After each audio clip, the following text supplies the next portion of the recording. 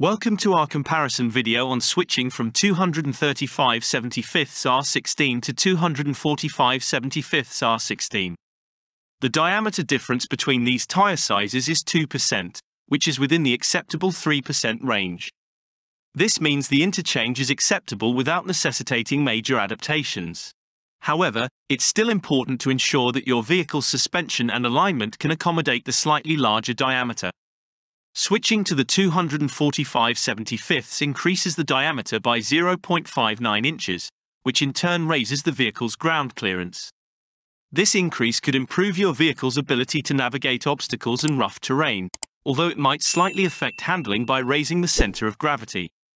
The 245 75 is 0.39 inches wider than the 235 75 this increased width provides a larger contact patch, potentially improving traction and stability. However, it may also lead to increased rolling resistance and could affect fuel efficiency. Switching to the 245 75 increases the sidewall height by 0.3 inches. The larger sidewall height could result in a slightly softer ride and better impact absorption compared to the 235 75 this might be noticeable on rougher roads or off-road conditions.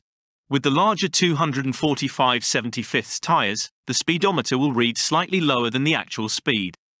For example, at a speedometer reading of 20 miles per hour, the actual speed will be 20.4 miles per hour. Based on our observation, switching to 245 75 R16 offers benefits such as increased ground clearance, potentially improved traction due to a wider contact patch, and a slightly softer ride due to the taller sidewall height. These changes could be beneficial for off-road driving or for those seeking a more robust appearance. However, there are some trade-offs to consider. The larger tires may slightly reduce fuel efficiency due to increased rolling resistance. The higher center of gravity could marginally affect handling, particularly during cornering.